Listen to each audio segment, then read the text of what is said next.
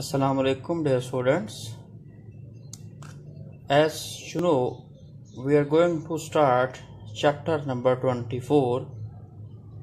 Chapter number 24 deals about evolution. Dear students, आपकी second year biology के अंदर ये चैप्टर जो है ये बायोटेक्नोलॉजी के बाद है और ये डील करता है about evolution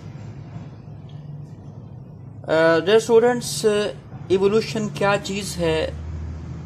इस इवोल्यूशन को समझने के लिए काफ़ी सारे क्वेश्चंस जो हैं वो हमें सीखने हैं।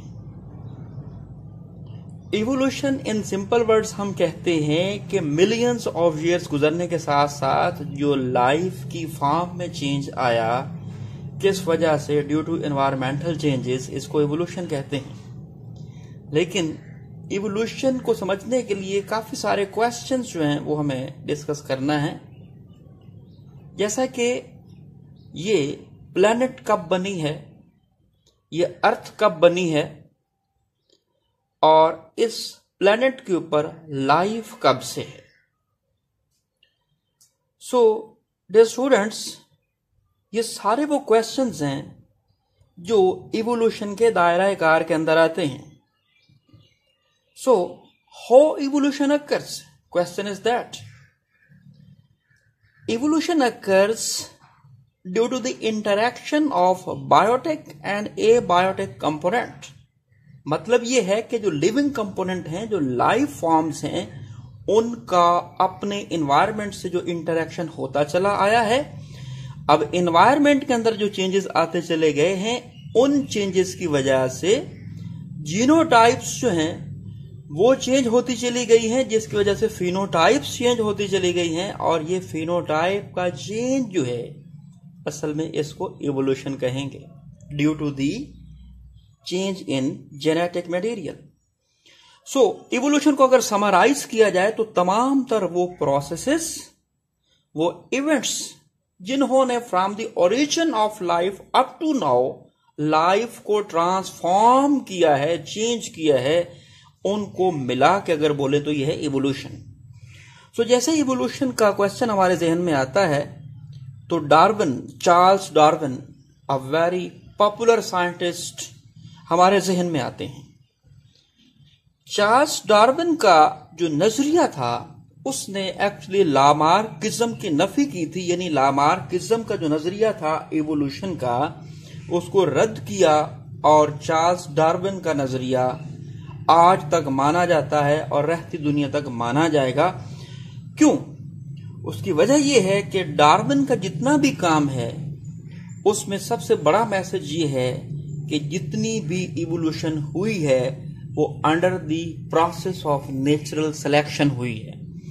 यानी environment chooses which is the best form of life all of the other forms of life are eradicated यानी इन्वायरमेंट सेलेक्ट कर लेती है जो उसके लिहाज से कोई मौजू लाइफ की फार्म हो, बाकी तमाम तर फॉर्म्स जो हैं, वो खत्म हो जाती हैं।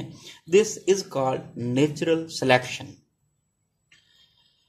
so dear students आपके शार्ट सिलेबस के अंदर अब साइंटिस्ट के वर्क को मद्देनजर नहीं रखा जा रहा।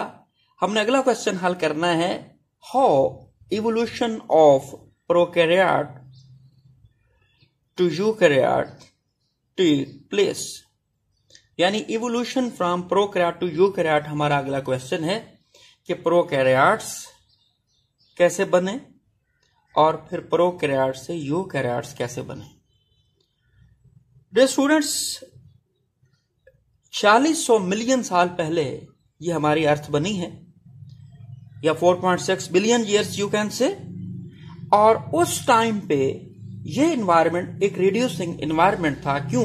कि कोई भी लिविंग ऑर्गेनिज्म जो बेशक फोटोसिंथेटिक ऑर्गेनिज्म थे बैक्टीरिया थे, वो वाटर को सप्लेट नहीं कर रहे थे फोटोसिंथेसिस के लिए।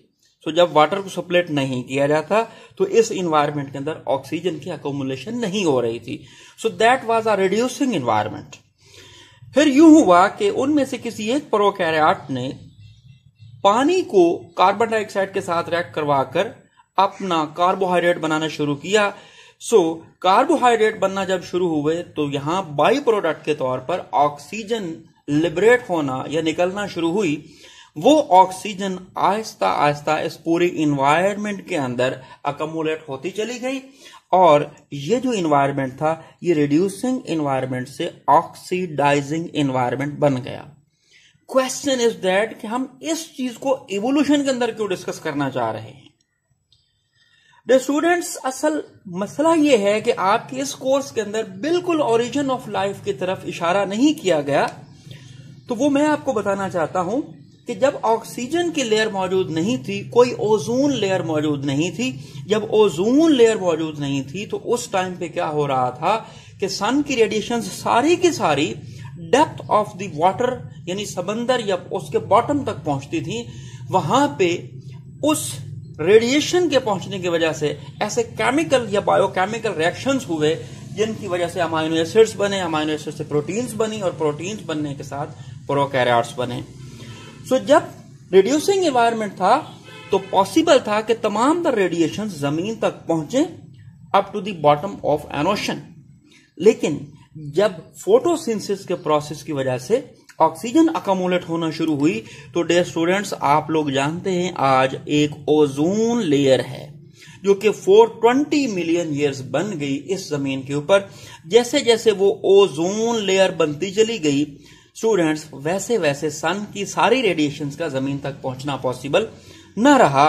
जब रेडिएशंस वो आ ही ना सकी ज़मीन तक, जिन्होंने कोई रिएक्शन करवा के लाइफ को स्टार्ट करवाना था तो फिर ए बायोजेनेटिकली लाइफ का बनना पॉसिबल ना रहा। यानी शुरू में जब ओजोन लेयर नहीं थी तो रेडिएशन वर कमिंग लेकिन जब ओजोन लेयर बन गई तो उसने फ़िल्टर आउट करना शुरू कर दिया रेडिएशन को फ़िल्टर किया, और वो रेडिएशन ज़मीन तक नहीं पहुँच पाई, जिन्होंने कोई ए बायोटिकली लाइफ को स्टार्ट करवाना था, चूँकि लाइफ स्टार्ट हो चुकी थी। सो पहले प्रोक्रियाट्स जो हैं वो बने हैं 3.5 बिलियन ईयर्स एगो दे स्टूडेंट्स 3.5 बिलियन ईयर्स एगो वो जो प्रोकैरियाट थे वो प्रोकैरियाटिक प्रोटिस्ट थे. वो प्रोकैरियोटिक प्रोटिस्ट जो थे अब उनसे इवोल्यूशन कैसे हुई यूकैरियोट्स की? सो so, यूकैरियोट्स जो पहले ज़मीन पर आए हैं या बने हैं या पानी के अंदर बने हैं वो हैं 1.5 बिलियन ईयर्स एगो यानी प्रोकैरियोट 3.5 बिलियन ईयर्स एगो हैं और यूकैरियोट्स 1.5 बिलियन ईयर्स एगो हैं। और ये काम कहाँ पे हुआ? ये सतह समंदर के नीचे गर्म पानी के चश्मों में ये काम हुआ। इनको कहा जाता है हाइड्रोथर्मल वेंट्स स्टूडेंट्स इसको क्या कहा जाएगा? हाइड्रोथर्मल वेंट्स सो ये हाइड्रोथर्मल वेंट हाइपोसिस ये है कि life was started in the warm oceans और हाइड्रोथर्मल वेंट्स अब ये क्वेश्चन असल दो हाइपोसिस पर मबनी है कि evolution from prokaryote to eukaryote कैसे हुई है।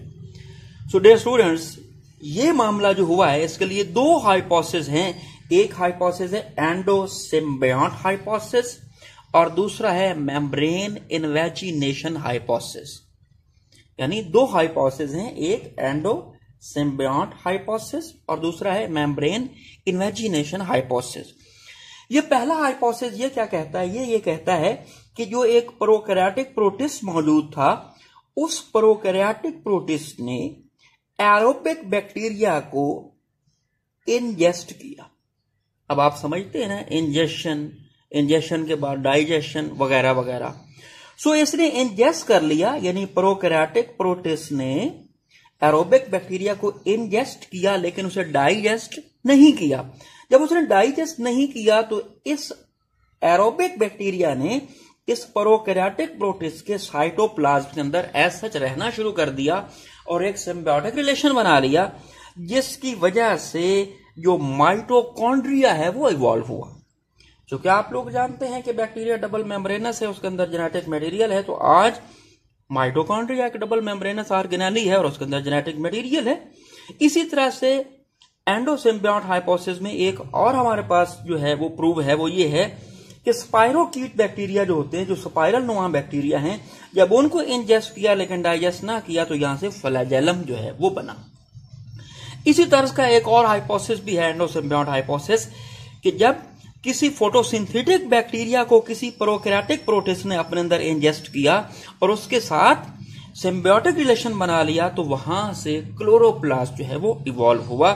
सो इस तरह से क्लोरोप्लास्ट के बन जाने की वजह से फ्लैजेला बन जाने की वजह से माइटोकॉन्ड्रिया बन जाने की वजह से, वो जो प्रोकैरियोट्स थे, उनके अंदर जब ऑर्गेनेलिस आ गई तो वो यूकैरियोट्स बन गए।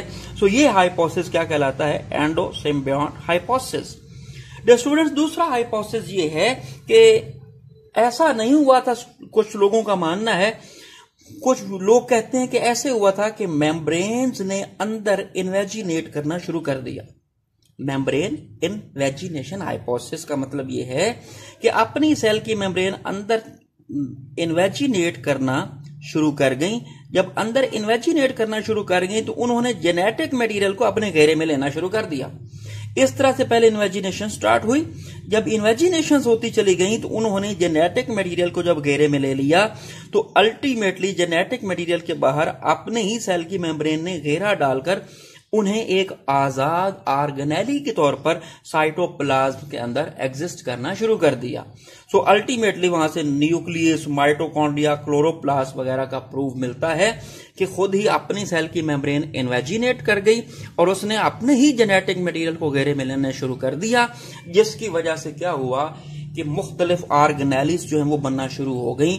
So this hypothesis is called membrane invagination hypothesis ये दो हाइपोसिस हमें इस सवाल का जवाब देते हैं how evolution of eu eukaryote from pro prokaryote took place in the history of evolution so dear students आज हमारा इंट्रोडक्शन और अगला क्वेश्चन कवर हो चुका है।